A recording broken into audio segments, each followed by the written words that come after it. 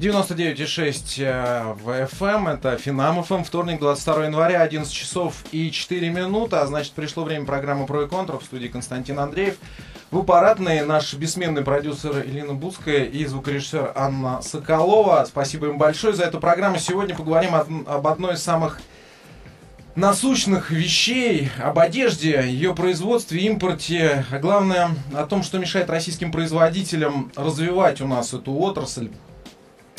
Сразу представлю наших гостей. Сегодня в студии у нас дизайнер одежды, основатель и креативный директор Марк Ло и собственного одноименного, я бы сказал, бренда, да, да. Яна Недзветская и генеральный директор компании «Спортивный мир Черса» Александр Черный. Я правильно ничего не перепутал? Также у нас сегодня на связи основатель и генеральный директор компании «Мануфактура Малюгина», выпускающий одежду под маркой «Соло» Александр Малюгин. Он присоединится к нам во второй четверть часовки.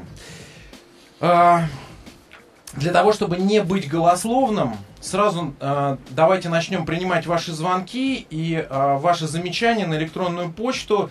Для этого у нас есть телефон 65 10 99 и 6, код города 495 и э, адрес нашего сайта finam.fm, страничка программы «Про и контра». И вопрос, который я хотел бы вам задать, носите ли вы что-нибудь из одежды российских производителей? Может быть, вы принципиально покупаете, скажем, какие-то отдельные отечественные марки. Может быть, вы э, там, расскажете интимные подробности, может быть, вы носите какое-то отдельное там белье, или я не знаю, или может быть у вас пальто какое-то специальное. И э, сразу перед началом разговора я хотел бы просто буквально две цифры озвучить. Э, по данным за 2006-2010 год, доля отечественных производителей в общем рынке объема одежды в России составляет чуть более 12%. Вдумайтесь в эту цифру. 12% всего-навсего. При этом российский рынок одежды, как уверяют эксперты, не полностью насыщен и является малорискованным. То есть возможности инвестировать в эту отрасль есть, и их более чем достаточно. При этом за тот же период с 6 по 10 год объемы продаж одежды в России выросли на треть. Кто же удовлетворяет этот спрос? Ответ очевиден, это импорт, который увеличился за это время более чем наполовину, 54,5%. И мой первый вопрос нашим гостям, собственно, а в чем проблема? Почему, а, почему вот так, да, почему у нас 12% при постоянном росте а, потребления? Ну, почему происходит рост потребления, мне кажется, ответ очевиден. Просто мы становимся более благополучны в финансовом смысле. И почему импорт? Ян, давайте с вас начнем. Ну, я думаю, как вопрос очень простой, потому что мы не конкурентные. Они конкурентные, вы понимаете, э, буквально все. Вот, например, мне очень просто сравнить, да, у меня две фабрики. Э, мы производим и в Китае, и в Подмосковье фабрика своя, да. Ян, извините, давайте, э, давайте сразу сначала оговоримся. Вы основатель, креативный директор двух марок. Вы производите дизайнерскую одежду. Да, да, одежда уровня претапарты. Угу. То есть это цены где-то в магазине примерно 6-8 тысяч за платье, чтобы тогда люди ориентировались. 6-8 тысяч рублей? Да, рублей за платье. Я считаю, вот в этом сегменте русские еще могут как-то конкурировать. Почему, собственно, мы в этот сегмент и переползли? Мы тоже когда-то работали в массовом рынке. Но как раз конкурировать с западными фирмами в массовом рынке невозможно, да, потому что пришли монстры огромные, да, сетевые, мировые сетевики, и конкурировать с ними, ну, практически невозможно. Во-первых, у них опыт огромный наработан. А во-вторых, возить в Россию все, начиная от нитки кончая последней пуговицы, мы работаем стопроцентный импорт всего. Ткани у нас в России нет. Хорош. Об этом мы еще поговорим. Александр, вам задаю тот же самый вопрос. Почему да, мы не можем конкурировать? Почему так, такой разрыв? 12% только мы обеспечиваем рынка собственными силами при нарастающем э, и, и, и при нарастающем импорте. Да, я понимаю, очень обидные 12%. И э, здесь очень много, на самом деле, таких э, проблем, потому что, с одной стороны, разрушена э, текстильная легкая промышленность от э, советских времен, то есть на смену ей ведь ничего не пришло. Мы, мы э, частные э, производители, которые построили этот бизнес с нуля, у нас не было ничего, ни помещений, ни оборудования, ничего не было.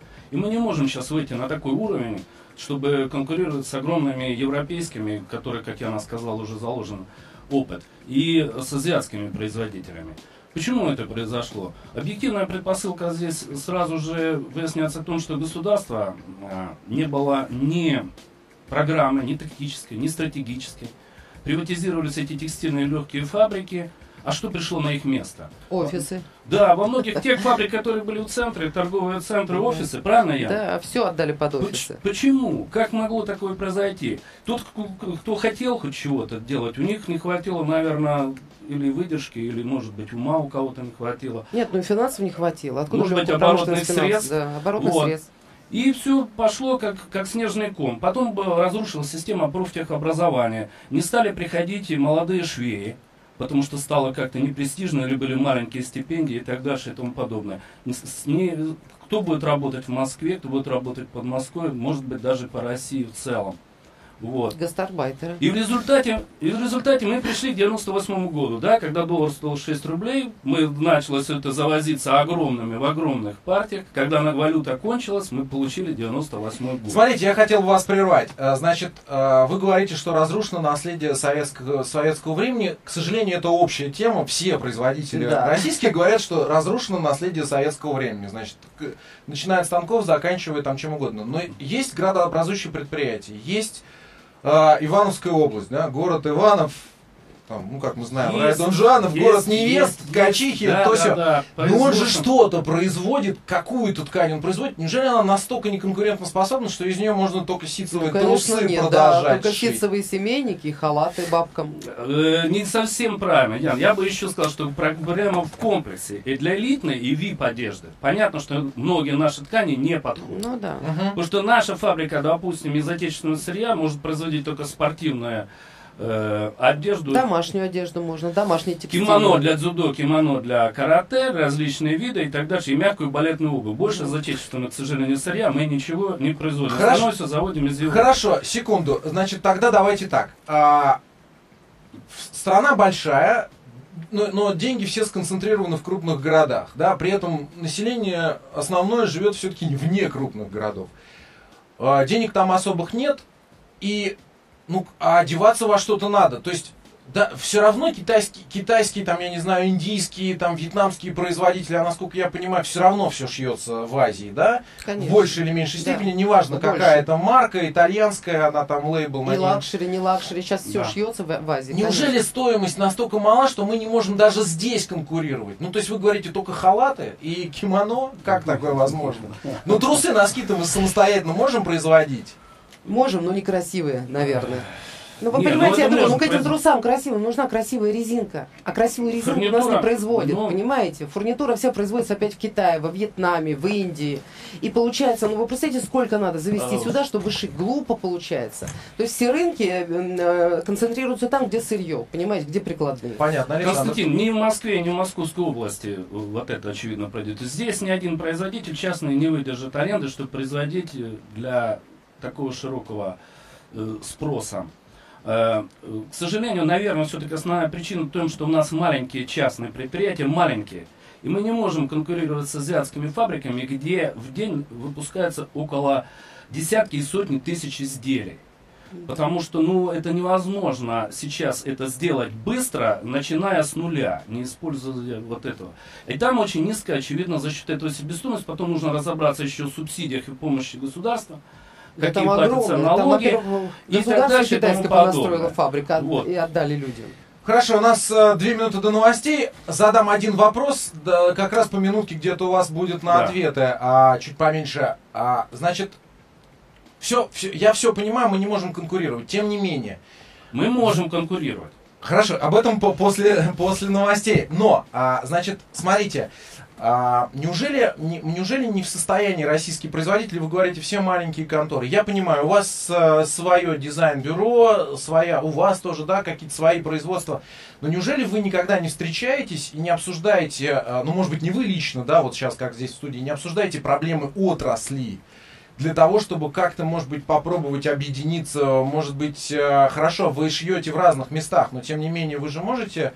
э, Конечно, конечно. Существуют выставки Ростекстиль и Рослегпром, например, те- текстильной легкой промышленности. Непонятно, что они сейчас дают российским производителям, настолько они сейчас полезны, потому что 57-й павильон, например, он на этих выставках уже отдан э, азиатским фирмам. Мы встречаемся, мы все обсуждаем. Это привело даже к тому, что мы сейчас с отечественными производителями, те, которые находятся в этой сфере, мы даже не конкурируем. Мы даже общаемся, мы даже помогаем друг другу, потому что мы понимаем, какая Да, угроза для нас с конкуренты. Мы вот сами русские всегда можем договориться. И мы это обсуждаем, мы обсуждаем вопросы сырья, мы обсуждаем вопросы коллекции и так далее. Мы даже помогаем друг другу в этой сфере. Поэтому здесь-то как бы... Нет, а я считаю, мы вполне можем конкурировать именно в сегменте претапорты одежды, понимаете, более высокого уровня. Потому что там составляющая как бы интеллекта, коллекции, именно самого таланта дизайнера больше, вы понимаете? Ведь у нас холодная Намного страна. Если мы посмотрим одно отопление, а ведь э, в Азии, да, под открытым небом. Понятно. А, Мы продолжим эту тему сразу после а, выпуска новостей. а, Зачитаю, вот нам пришло уже первое сообщение. Присоединяйтесь к нам. 65 10 99 6 телефон и finam.fm это наш сайт. Звоните, пишите про одежду, разговариваем. Уходим сейчас на новости и вернемся через пару минут. А, 99,6 Финам ФМ. Продолжаем программу про и контра. Константин Андреев в студии. Сегодня у нас в гостях дизайнер одежды, основатель и креативный директор марок Ло и одноименного собственного бренда Ян Недзветская и генеральный директор компании «Спортивный мир Черса» Александр Черный. Мы говорим о том, что мешает российским производителям собственно, делать российскую одежду для нас, для нашего внутреннего хотя бы рынка. Про- Продолжаю приглашать вас к дискуссии, дорогие радиослушатели. 65 10 99 6 это наш телефон, 495 префикс код Москвы и finam.fm это наш сайт, а, страничка программы про и контра. Вот пришло сообщение, стараюсь использовать одежду, к сожалению, только милитари стиля. Производитель Союз спецоснащения. Она и смотрится, и очень крепкая, и качество ткани и, шко- и ткани и швов на самом высшем уровне, а также легко стирается. Пишет нам Станислав Д. и добавляет, что, возможно, многие боятся одеваться по-русски, он так, так написал, цитата дословно, потому что чувствуют, что это пережиток советских времен и э, ну, не очень доверяют, насколько я понимаю. Вот, кстати, вопрос, который немаловажен, да?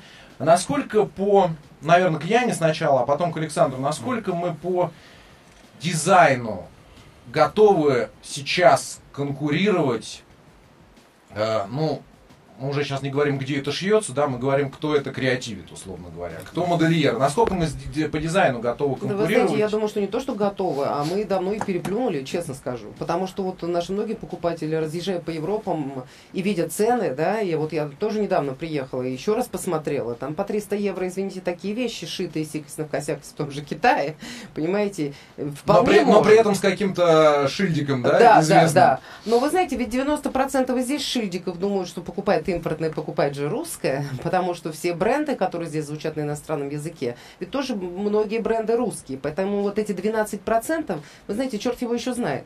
Потому что, а кто считал эти проценты? Ведь за каждым иностранным названием часто стоят русские люди. Ведь вы посмотрите, очень, очень много российских эм, э, компаний сидит в Китае, в том же Гуанчжоу, э, около Шанхая, да, и там целые офисы сидят. А на самом деле это же русские бренды, и оттуда тоже привозим, привозят массу одежды готовой. произ- То есть мозги наши, понимаете, да? Менеджмент наш. Ну, Моз- фабрика китайская. да. Мозги наши, а руки китайские. А руки китайские. Александр, вы как думаете? Очень жаль, к сожалению. Можем конкурировать? Да не можем. Мы, я думаю, как правильно сказала Яна, по многим позициям э, делаем вещи лучше и, и может быть, даже удобнее и более широкий ассортимент. Другое дело, что нам не, хо- не времени, чтобы м, эти бренды поднять на такой уровень, чтобы они были узнаваемы во всем мире, во всей Европе и так дальше. Я приведу простой пример, что мы, например, у нас есть э, м, э, изделия нарядной гимнастики ручной работы. Вот. И Это вы сейчас про спортивную линейку говорите? Да, спортивную. И ее с удовольствием покупают и в Америке, в Майами, и в Европе. Они приезжают к нам и покупают эти вещи, то есть без всяких этих. То есть это дорогая одежда, в которой много затрачено интеллектуально и другой, э, других ресурсов. Поэтому здесь вообще, и если взять э, сборные, которые отшиваются, например, по художественной гимнастике, дизайнеры, конструкторы только наши. Да, сырье, к сожалению, европейское. Вот. И если, например, последний пример, я поехал на итальянской фабрике этим летом, и я ходил только в своих рубашках и в своих брюках, моих личных разработок, моего личного дизайна и так дальше. Меня все спрашивали, где я это купил. Где я, Виталий, на каком бутике Нет, я рекламных это купил? бюджетов. Я считаю, что русским не хватает громадных рекламных бюджетов западных. Но мы не Понимаете? можем себе Да. позволить Да, на имиджевую рекламу, Да. чтобы вот э, раскручивать Да. определенный свой бренд. Я Ну, лучше, просто нет. я лучше вот- работницам, еще швеям доплачу, потому что они, к сожалению, бедные. Если чем я буду тратиться на эту имиджевую рекламу, это же очень большие деньги.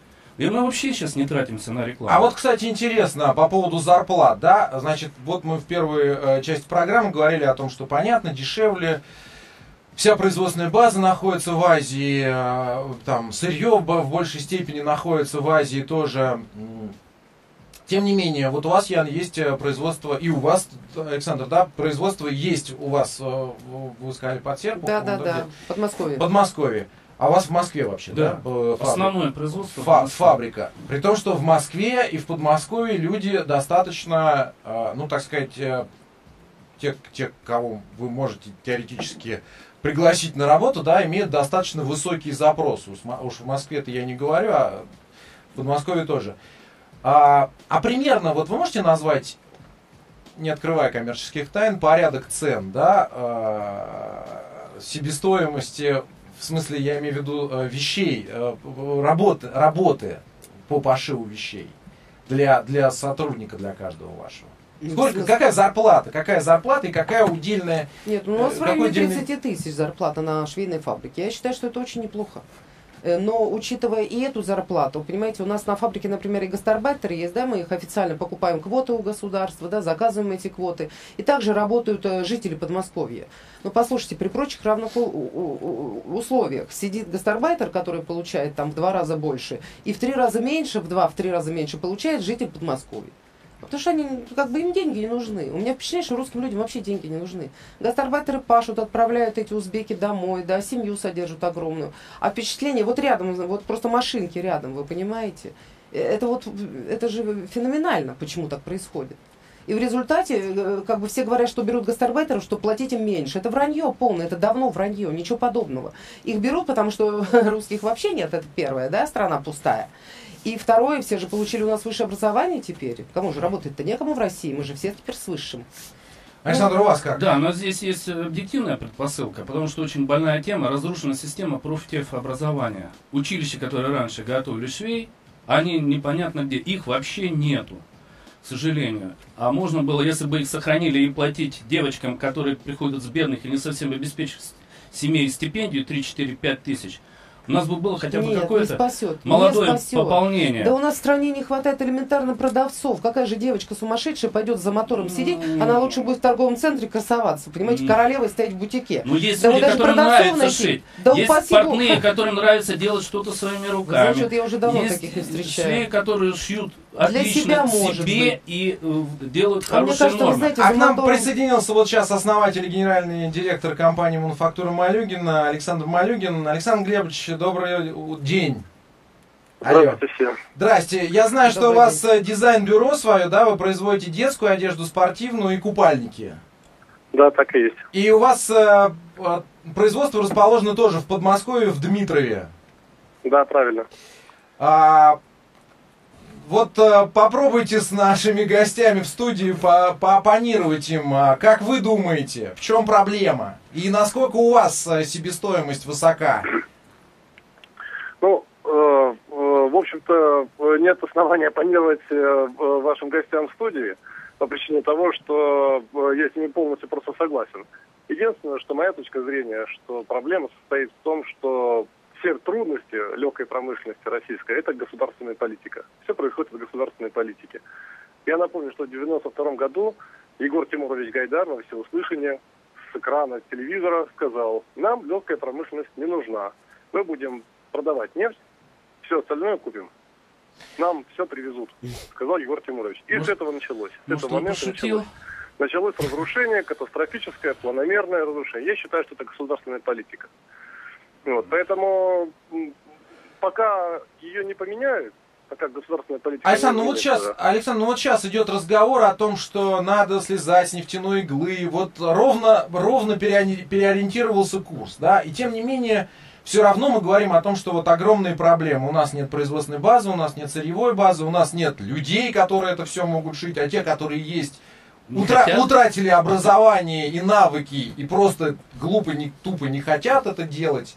Как быть-то? Как-то надо, может быть, вы как-то обр- объединитесь, производители, хотя бы начнете в какую-то сторону это сдвигать. Вы знаете, а, производители пытаются объединиться, пытаются объединиться. Есть э, э, форумы, встречаются, на выставках встречаются, есть отдельная э, форма. Пока все, всего этого просто мало, потому что государство, ну, я разговаривал с одним из э, чиновников высокопоставленных на каком-то мероприятии, когда спросил его про легкую промышленность, он посмотрел на меня и сказал, ваша легкая промышленность в нашем бюджете исчезающе мала, на уровне статистической погрешности. И повернулся и пошел. Вот, поэтому э, здесь э, производители могут биться сколько угодно, если есть такая государственная установка. Однако я хочу сказать, что легкая промышленность это не такое простое, во-первых, занятие, а во-вторых, э, ее ценность весьма велика. Ну, хотя бы, как говорил Марк Твен, покуда голые люди никакого веса в обществе не, не имеют, одежда будет нужна. Вот. И э, так или иначе, так или иначе, производить одежду в России будут, потому что это еще и предмет творчества. И так наш народ устроен, что мы никогда не, мы не откажемся от производства одежды. Мы все равно это будем производить. Так вот, легкая промышленность – это то, что быстро может вытянуть экономику из кризиса. Так было в Турции, так было в Китае, так было и в Пакистане, и в других странах, потому что легкая промышленность – это легкий вход в рынок, относительно недорого стоит оборудование, нет сложных технических условий для организации производства. Это относительно легко можно научить людей работать, и это быстрое удовлетворение спроса, это самозанятость, это занятость населения, удовлетворение спроса, быстрый оборот и деньги в бюджет. И вот э, если э, мы хотим изменить свое положение нефтяного э, источника, то, значит, легкая промышленность – это одна из отраслей, важнейших отраслей, которая может выступить, если уж не стопроцентным локомотивом, хорошо, не будем об этом говорить, но совершенно точно одним из существенных э, э, э, тягачей экономики. Это Олег, точно. а, ко всем вопрос к вам сначала, Александр. Скажите, а, хорошо, у нас есть табачные лоббисты, да, в Государственной Думе, в правительстве. У нас есть там а, спиртные лоббисты, нефтяные лоббисты. Когда появятся в органах власти, как вы говорите, лоббисты, которые будут лоббировать интересы производителей, в том числе производителей одежды, там, легкой промышленности? Ну, к сожалению, даже предположить не могу, потому что ресурсы легкой промышленности несопоставимы с Да, ресурсами норма табачного прибыли маловато бизнеса. несколько, да. Но можно, но механизм боюсь, нужен. Нужен, Покупать не на что чиновников. нужен, нужно хотя бы, можно я добавлю? Конечно. Вот на уровне государства, да, э, чтобы добавить Александра Глебовича, здесь нужен механизм, чтобы он заработал. Вот конкретно, все, все э, нам говорят, вы только жалуетесь, предложите что-нибудь конкретно. Предлагаем конкретно, чтобы обязать торговые сети, общеобразовательные школы и так дальше покупать российское. Об этом а, поговорим после новостей. Сейчас короткий перерыв, вернемся. 99,6, программа «Про и контра». «Про и контра» в студии Константин Андреев. Говорим сегодня о производстве одежды и проблемах российских производителей одежды. А, До новостей как раз начали обсуждать тему, что мешает, а, что надо сделать, хотя бы первые шаги. И а, вот Александр Черный, который генеральный директор компании «Спортивный мир Черса», говорил нам о том, что проблемы с торговыми сетями. Александр, продолжайте. Например, да, например, нужен механизм. Вот э, я был на форуме там опора России, которая хотела помочь там малым и средним предприятиям, в том числе и легкой текстильной промышленности. Мало чего я услышал конкретного. Вот.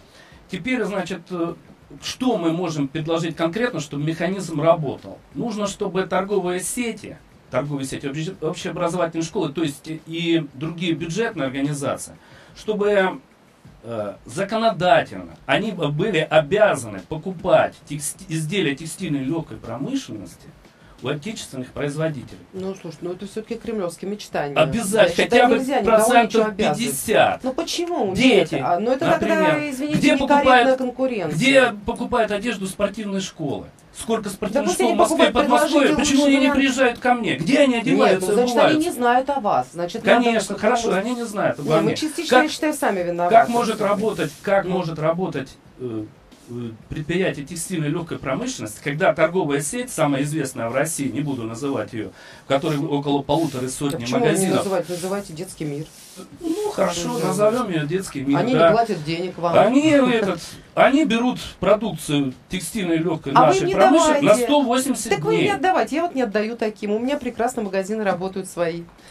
И Ну, хорошо продают. Я ни от кого не зависима. Я тоже зависела раньше. Выстраивайте свою логистическую цепочку, Ну. открывайте интернет-магазины. Нет, часто Интернет-магазин, да, будущее за интернет-магазинами, естественно, нужно Свои какие-то магазины, не обязательно Да, в дорогих местах. Сначала начинайте в более дешевых. Мы тоже раньше в более дешевых торговых центрах открывали. Сейчас у нас в самых красивых, дорогих торговых центрах Ну, магазин. Но все равно, все равно вот эти, извините за выражение, жирных котов, которые, может, уже и не живут здесь, Ну, в а стране, их нужно, пусть они берут нашу продукцию, нашу швейную продукцию на 30 дней Слушайте, и ну, рассчитываются за нее. уже. Ну, что за... Пусть берут половину хотя бы. Ну. Почему, почему мы все это, почему тут все В завозится? студии разгорелась жаркая дискуссия. Я хочу спросить у Александра Малюгина. Я знаю, что его коммерческая служба включает всего два офиса. Один в Москве, другой на другом конце России, в Новосибирске. И при этом, как написано на сайте, вы обслуживаете клиентов от западных границ до Камчатки России. Как вам удается?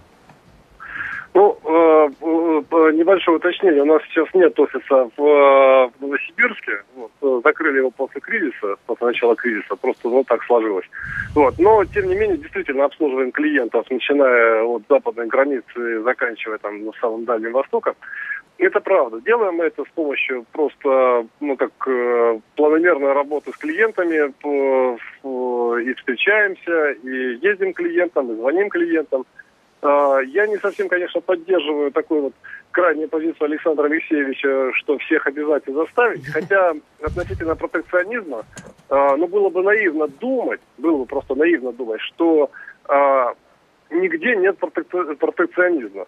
Вы меня извините, конечно, я однажды пытался отправить посылку в, с, в, в качестве подарка а, скатерть в Европейский Союз. Так у меня эту посылку не приняли.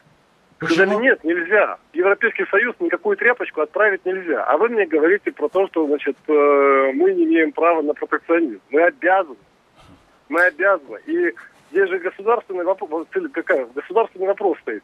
Мы как хотим? Дать всем полную свободу, открыть границы, как мы уже это сделали с э, вступлением в ВТО. Импорт э, уже возрос. Пошлина снизилась на импорт э, э, почти до нуля, там, по-моему, 5% осталось пошлина на одежду, а была до 50 доходила. И э, сейчас мы хотим э, чего добиться? Нет, без протекционизма, разумного, упорной заботы государства о своей собственной промышленности ничего не случится. А вот я хотел бы вас вернуть немножко на несколько минут назад в нашей беседы и спросить, хорошо, значит, мы, у нас пока нет э, там лоббистов в Государственной Думе, но а, каким-то образом, а, не знаю, с Минторгом, с какими-то профильными министерствами идет же работа. Неужели через них нельзя заходить, чтобы правительство принимало какие-то соответствующие, ну если не закон, вернее предлагало, да, для принятия какие-то, если не законы, то хотя бы поправки. В том числе поправки, касающиеся протекционизма. У меня есть по этому поводу небольшое э, сообщение. Ну, во-первых, э, мы работали в свое время с Минпромторгом. У Минпромторга есть э, программа субсидирования процентных ставок, и есть программа там помощи при покупке оборудования дорогостоящего. Нам, к сожалению, не удалось воспользоваться субсидиями Минпромторга, потому что мы к моменту когда можно было обратиться к субсидии, мы уже все свои затраты сделали, просто не попали в эту программу. Но, тем не менее, два последних года мы получаем субсидии из э, бюджета, реально получаем и получали. Дело сдвинулось с мертвой точки, но это все еще пока капля в море. Это не государственная политика, это не системная политика пока что. Ну, хотя бы так. За 20 лет работы, вот э, два разовое вливание, года... Ну, мне кажется, Получаем понимаете, вот представьте себе, что вы хозяин, у вас есть золотая жила, просто вы вот сидите на золотой жиле, вот золото бьет из из-под камня, и вдруг вам кто-то э, тут со своей швейной машинкой рядом топчется. Вот вы знаете, я так понимаю, наше правительство, у них тут валятся огромные деньги э, от нефти и газа, а они тут будут нами заниматься. Но это наивно об этом думать, я даже давно потеряла уже как бы к этому интерес, вот к этим У меня лоббированиям. есть иллюстрация по этому поводу, если позволите. Да, пожалуйста, пожалуйста, да. А, в 2008 году мы построили свою собственную фабрику в Подмосковье. То есть мы вот не арендуем, у нас собственная фабрика. Вот. И у нас А, тоже мы собственная. вложилось, вложились э, мы крупные как раз накануне кризиса. И столкнулись с серьезными проблемами, естественно, потому что э, резко упал спрос, сбыт упал, просто наш рынок исчез в одно- одно- в одночасье. Так вот, э, пока я встречался и искал помощи, поддержки, вообще всего, я типичный разговор был такой. Э, Что мне твоя легкая промышленность, что мне твое швейное производство, когда я деньги все свои разместил на бирже и к осени получил 200%. Вот, вот, вот, вот, вот. И, вот, я это, тоже. вот это непреодолимо. Это непреодолимо. Конечно. То есть это- И не будет преодолимо. Пока, до, пока баррель стоит столько, сколько он сейчас стоит, Тогда и пока не обязать. придумали новые Тогда источники. нужно заставить. Слушайте, ну это иллюзия. Да нет. То есть вот такое... Будем такое- работать. Такое, такое ощущение А у складывается... нас есть правительство или нет? Вот такое Оно занимается нефтью и нанотехнологиями. Такое Господа. впечатление из спора складывается, что спасение утопающих, Да, э, дело самих самих да. То есть отрасль, которая, которой не было после 90-х годов, она вот так выплывает сама, сама, сама, и никто ей помочь, к сожалению, не может. Вот у нас на сайте вопрос пришел, напомню, finam.fm, пишите нам э, на страничку программы «Про и контра», а также звоните, телефон в студии 65 10 99,6. Может быть, вам есть что добавить по этому поводу. Вопрос такой, почему в России не производят качественную ткань? Не умеют? Ну, мы про ткань уже говорили, про производство. Тем не менее, ведь, э, как сказал Александр, э, речь идет о том, что ведь многие, да, многие страны, легкая промышленность стала локомотивом для экономики многих стран. Там и Турция упоминалась и так далее. Китай, а неужели мы не можем а, как бы в локомотивном плане еще запустить производство станков и так далее? Я считаю, нет, не можем. Потому что ведь, обратите внимание, какие страны, в каких странах локомотивом стало? Какой? Полтора миллиарда китайцев? Сколько там миллиардов инди- в Индии? Сколько в Пакистане? Сколько Миллиард в Турции? двести. А у нас? Ну, да у нас людей всё-таки- нет. Господа, у нас пустая страна, у нас границ некому охранять. Давно пора уже вообще понять, что у нас ЧП. Я, я считаю, что у нас ЧП вселенского масштаба, у нас людей нет. И извините, как говорится, наши бабы столько уже не нарожают. Все. Нам давно пора открыть вообще все границы и принимать всех, кто сюда хочет приехать. А что вытворяет правительство опять, да? Тут, господи, спасибо узбекам, которые хоть сидят на педаль, нажимают на машинке. И здесь же всякие препоны. Причем что вытворяют с квотами? Ведь квоты налево продают аффилированным компаниям своим, понимаете? А потом заставляют нас за 20 тысяч эти квоты покупать у левых фирм. А у правительства квот нет. Они нам объявляют, квот нет. Ну, пожалуйста, вот нате вам телефон Ивана Ивановича, вот фирма, у них квоты есть. Это же безобразие полное, понимаете? Даже А здесь, даже в мелочах ужухать норовят. Александр Алексеевич, у вас какая, Да, какое здесь, замечание? э, здесь такое замечание. Вот я приведу конкретный пример. Вот мы во многом э, свою одежду э, производим из бифлекса. Бифлекс это такая синтетическая ткань с лайкра. 80% полиамида, 20% лайкра. Значит, э, эти все фабрики находятся в Европе. Три из них э, в Италии, в Англии, в Манчестере, там, и, я не знаю, закрылся или нет, фабрика в Испании. Значит, э, если такую фабрику построить в России, если Ага. такую фабрику построить в России, и вложить, и даже большие деньги и так дальше, она не сможет выйти на рентабельность, потому что не будет столько потребителей этой ткани в России, сколько она должна производить, чтобы быть рентабельной. Даже в Италии, которая обеспечивает бифлексом весь мир, фабрика Филатичи закрылась. Она не выдержала вот этого кризиса 2008 года, она закрылась. Там осталось сейчас три фабрики. И филиал э, от фабрики Карюка, который открылся в Китае, допустим. Вот. Поэтому есть вот такая одна проблема с, с этой точки зрения. То есть ткани, и плюс э, ткани, м, дизайнерские ткани, которые для э, одежды, одежды э, высшего уровня, здесь тоже нельзя ее наладить производство, потому что она же дорогостоящая, она, потому что для нее бутиковый сектор, он очень узкий.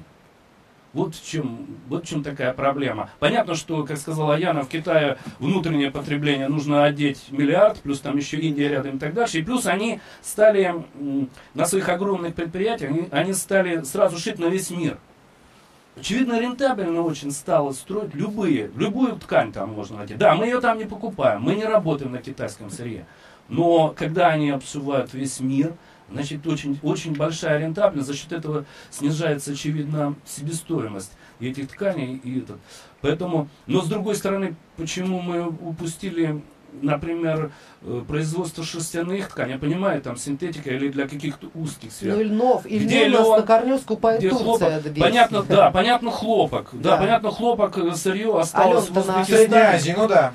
И там этот, ну а эти, а шерсть, например, ну, хотя сейчас э, придется нам хлопковые ткани, вот хлоп, трикотаж из хлопка покупать частично э, в Турции, вот, потому что наш или тот, или тот сырье, которое производится, оно как бы не, не, не очень. Даже на детский ассортимент мы его, к сожалению, пока стараемся не использовать. Александр Глебович, вы что скажете? Вы на каком сырье работаете и каковы Ну, перс- работаем мы, работаем мы на импортном сырье, естественно, совершенно согласен с Яной. Каждая резиночка к трусам, хотя, хотя трусы мы делаем, одни отличненько покупаются, но каждая резиночка и каждая тряпочка э, приводится из-за границы. Это, к сожалению, это так.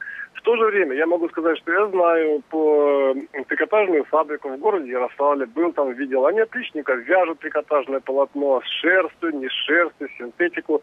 Вот, э, да, машины для этого применяются импортные, но у нас э, их и не было никогда так по-хорошему, таких машин. Но в то же время вязать можно, вязать можно с прибылью, и в общем и целом надо только этим заняться. Я, я абсолютно убежден, что э, если э, это станет приоритетом государственной политике, скажем так, вот, то все будет решено, все можно решить, никаких сомнений даже. Понятно. А, ну, а вот вы видели эту фабрику лично. Скажите, ну, насколько она готова обеспечивать, э, так сказать, отечественных производителей одежды своим сырьем? То есть Какие она может дать объемы в итоге? Яна, Да, Яна да, может со- Да, свою... Яна на нет, 300%. Яне эта ткань не подойдет. Да, мне этот ткань точно не подойдет. Нет. Мы все-таки больше А вам- а вам подойдет? Мне подойдет, я знаю эту ткань, да, это, это конкурентоспособная, хорошая ткань. Да, я знаю, правильно Александр Глебович сказал, что... Вот, но... Все можно сделать, все можно сделать, да. Ну, это очень, пока мы дождемся поддержки государства, мы можем уже не увидеть эту поддержку. Жаль Ну, только жить в это время прекрасно. Да, к сожалению. Нужны механизмы, чтобы работали механизмы. Вы нам, как мы раньше говорили в 90-х, Александр Глебович, мы раньше говорили, вы нам не мешайте, мы сами поднимемся. Прощаемся с Александром Ну что? Малюгиным. Большое спасибо. Сейчас э, уйдем на новости. Вернемся буквально через полторы-две минутки. Про и контры. Говорим сегодня о том, все, чем живут российские производители одежды, проблемы их, печали, заботы. Приду, а, покупаете ли вы российскую одежду? Почему? Это вопрос я адресую нашим э, радиослушателям. Звоните нам, пожалуйста, по телефону 65 10 99 6, код города 495. Покупаете ли вы российскую одежду и почему? Или почему не покупаете? Может быть, у вас есть э, контра-заявление по этому поводу. Пишите также нам свои замечания на сайт finam.fm страничка программы «Про и контра». Небольшое отступление, вопрос к Яне. Видимо, какой-то специалист пишет, Евгений, как вы утилизируете свои стоки? У вас есть стоки? Стоки есть у всех. Стоки, это я понимаю, так и речь идет о, магазинах, где по продаже, где, ну, стоковые продажи. Нет, нет, Нет, это остатки, после каждой коллекции, коллекции. Вы, вы- да, это остатки коллекции после сезона. Ну, как все фирмы, вот как в январские идут скидки. У нас все уходит в скидки, например. А ваша одежда покупают за границей? Покупают. У нас интернет-магазин есть. И вот, кстати, вы говорили, скатерть кто-то тут посылал, да, и не мог послать. Александр Малюгин, да. Да, да. А вы знаете, а мы почему-то очень удачненько все посылаем. У нас очень много француженок, ну, наших соотечественниц, да, которые живут во Франции, покупают нашу одежду и через интернет-магазин. Поэтому как-то у нас с этим все благополучно. Да, но это... А вот, кстати, вопрос в тему пришел прямо от Тимофея. Реклама. Какие рекламные кампании проводятся и как идет работа в интернете? Ну, вот вы сказали, что у вас Ну, во-первых, у нас журнал свой. Вы знаете, мы тоже э, как бы э, прикинули, сколько стоит рекламный полос в журналах. И мы в результате сделали давно уже свой журнал. Когда-то, да, много лет назад, это был каталог, а теперь это очень веселый, очень хороший журнал, где наши коллекции печатаются, да, и он печатается довольно большим тиражом и раздается в наших магазинах нашим покупателям и так далее. Очень неплохая реклама. А какая, какая отдача? Вы как-нибудь пытались просчитать? Конечно, конечно. Там при раздаче, например, тысячи номеров журналов, да, к нам приходит где-то 30% покупателей, э, которым мы раздали этот журнал. Я считаю, это неплохая отдача. Александр, у вас что делается? Как быть? Я понимаю, что вот вы говорили о проблемах сетей, что надо заставить сети и так далее. Может быть, вот подумать в этом направлении? Может быть, попробовать... Тем больше, что, например, детская одежда, которой вы тоже занимаетесь, да, насколько я понимаю, она очень часто продается через э, интернет-сайты, потому что мамы сидят дома с детьми, Да. и им, в общем, некуда Конечно. ходить Особенно по, по Москве. по магазинам. Нет, будучи за интернет-магазинами в большей степени, в зависимости от ассортимента, больше или меньше, это вне сомнения. Вот. Да, особенно недорогая одежда, так вообще с И мы начали доставку по Москве и Подмосковью сейчас. И э, перед Новым годом, удивительно, но перед Новым годом, например, удивительно, мы продали очень много купальников больших размеров с доставкой на дом, с примерками там и так далее, и тому подобное. Это, то есть это удивительно, я не ожидал, что будет так. Это один из плюсов, как мы сможем конкурировать с теми же азиатскими производителями, потому что то, что производится здесь, это будет намного удобнее, они могут выбирать Э, Заказчик могут выбирать модели, могут выбирать цвета, и мы можем оперативно это все производить. Здесь, здесь нам немножко повезло, хоть в чем-то. Но на самом деле, конечно, много для фабрики, которая производит десятки тысяч изделий в месяц через интернет-магазины, мы, конечно, много не продадим. Здесь однозначно нужно, э, чтобы были крупные э, оптовые сети и крупные покупатели для опта. Здесь пока однозначно. Вот. Хотя нужно экспериментировать. И здесь большая, большой плюс через интернет-магазины мы получаем ответную отдачу, ответную реакцию. Правильно, Ян? Ну да, Потому на что коллекцию, да. если мы не увлекаемся своей розничной сетью, то мы должны узнать, насколько нравятся наши модели покупателям, послушать все критические замечания, э, советы, пожелания и вообще, что люди хотят, чтобы нам идти хотя бы с небольшим опережением. Э, Хотел с- задать вопрос сам, но задам его от имени Петра, который написал нам на сайт finam.fm. Э, К обоим гостям вопрос он адресует. Э, Какой ценовой категории? Ну, мы уже говорили немножко о ценах, да? А, Насколько вы, я чуть его переформулирую, насколько вы в состоянии подстраиваться под конъюнктуру рыночную, да, варьировать цены, в том числе при помощи интернет-продаж, потому что для них не надо, понятно, держать там магазин, продавцов, ну то есть э, прибавочный нет Ну, у нас, например, очень такое живое предприятие. Мы как раз почему и выжили, я считаю, и, в общем, неплохо живем сейчас, потому что мы очень гибкие. Я считаю как раз, что а громадное вот время громадных таких компаний, оно прошло. Все-таки это вот массовая одежда, она тоже от нее люди устают, да, поэтому, мне кажется, более поворотливые такие средние предприятия, такое, как у нас, оно более выгодное. И также по ценам, вы понимаете, мы можем варьировать ценами, мы можем себестоимостью варьировать проще, понимаете, попроще. Ну вот вы сказали, у вас платье 7-8 тысяч стоит. Да, 6-7 тысяч. 6-7 да. тысяч. Ваше Рублей. пальто сколько стоит? А, Наше пальто, смотря для какого, если для бутика, то наше пальто будет стоить дорого. Оно может стоить и 15 тысяч, и смотря какой сырье. Ну, средний от средней. А так э, пальто мы можем пошить где-то от 5 до 10, до, там, до 12 э, тысяч. Блузки, рубашки, юбки, там тоже нужно смотреть. Если заказчик приходит и у него сеть бутиков, это высокие цены. Мы сейчас не говорим про заказчика, мы говорим про конечного потребителя.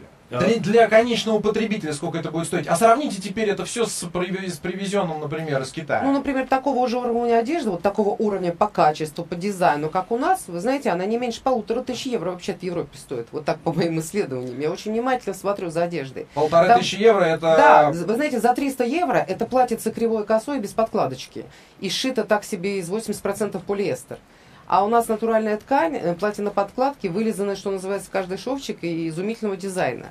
Поэтому, знаете, тут, э, я думаю, все-таки еще играет вот эта брендомания российская, когда, знаете, ах, оно французское, ах, оно итальянское. все-таки играет еще пока. А у вас что, Александр, как вы думаете? Насколько вы можете с китайцами, э, там, с индусами конкурировать? Ну, только по сложных изделиях. По сложных изделиях или те, которые невыгодно совсем вести. Например, я хочу сказать, что конкуренцию по купальникам маленьких размеров, с 42 по 50, я считаю, что в ближайшее время нам даже нечего э, там планировать, что мы сможем им составить конкурентную борьбу. Они уже здесь э, продаются в рознице 250 рублей. У нас себестоимость выше. Невозможно. Это уже все. Это, это, те- эта тема уже их. Как они умудряются делать так дешево, приличного качества. Я вам хочу сказать, даже на чашечках раздельные купальники, но 250 рублей.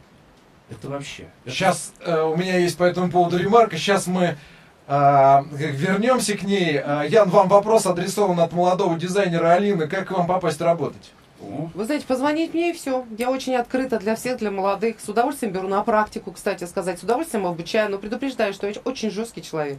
Я сама поработала в Америке, поработала во Франции, поэтому, вы знаете, я буду требовать, чтобы работала как в Европе, а не как в России. А, Алин, внимательно, осторожнее. Поэтому, Алина, пожалуйста, звоните, но подумайте. Со мной очень сложно работать. Яна Недзветская. У нас на связи еще на, на телефонной связи Алексей Павлович. Алексей, здрасте. Здравствуйте.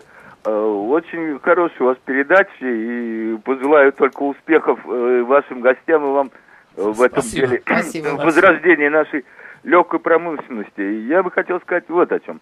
Я, поскольку и сам пенсионер, и внуки растут, да, я предпочитаю, например, одеваться, так сказать, в наше российское. Но вот э, с политикой ценообразования это не столько зависит от э, ваших гостей, как от производителей, сколько от продавцов этой продукции. Вот реальный пример. Недавно побывал в Иванове, нужно было купить рубашки внукам. Наши обычные, вот из шотландки, там утепленные, неутепленные, бязевые и так далее, да.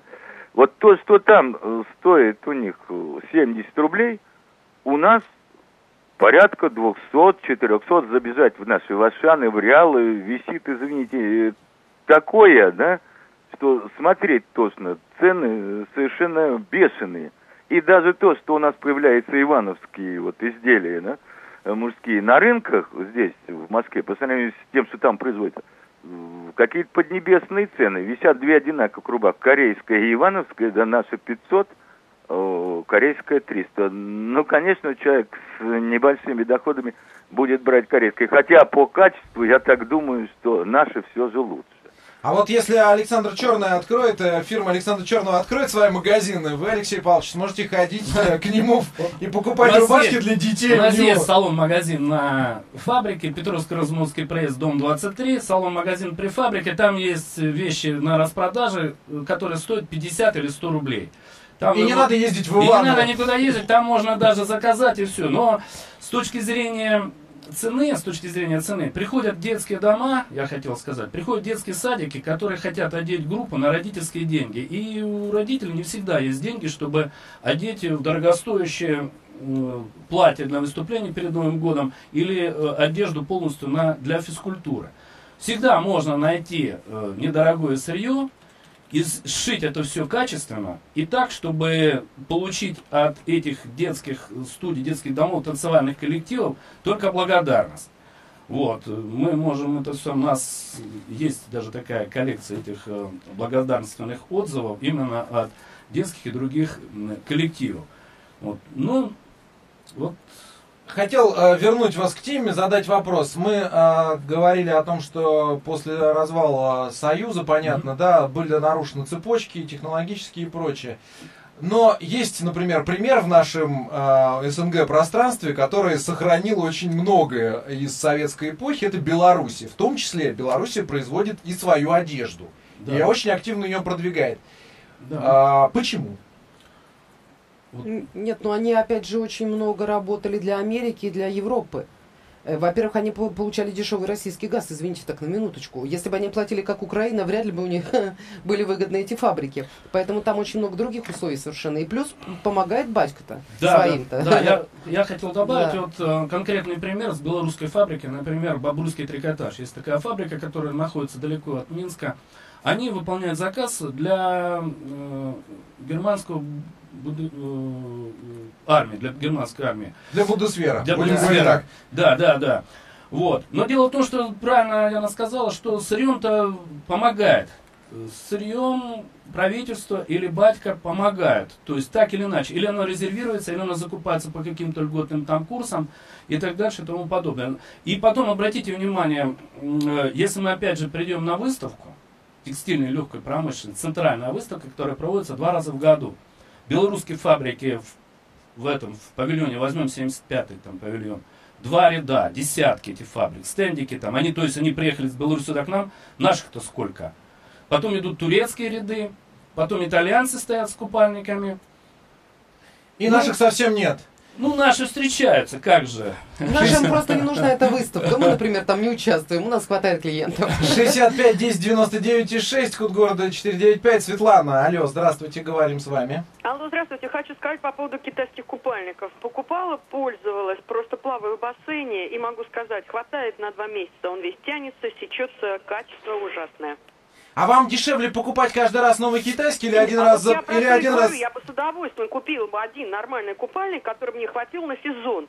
Ниже я буду каждые два месяца выкидывать по 250 рублей. Так что попрошу в конце передачи, пожалуйста, я только вот как бы включилась, ну, хотя бы телефоны вот этих фирм, вот дама выступает. К, к интересно. к сожалению, вы можете это найти все на сайте, На на, сайте. нашем, да. У нас остается совсем мало времени, буквально по 20 секунд. Что нам делать? Какие первичные хотя бы шаги по выходу из этой ситуации есть? Я считаю, работают. Просто работают, как я работала 25 лет, все. Я другого пути не вижу, я ничего не жду от государства, не собираюсь и не считаю, что оно мне что-то должно. Победим как китайцы. Да. Просто работать. Просто работать надо. Медленно, в своем медленно. сегменте, да, медленно, медленно спустимся Шаг с горы. шагом. Да, Константин, если мы пережили 98 год и 2008, то уже, как э, говорит классики, не дождетесь, да, вот, своими силами.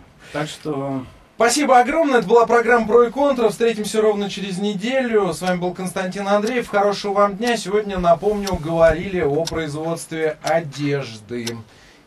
Оставайтесь на 99,6.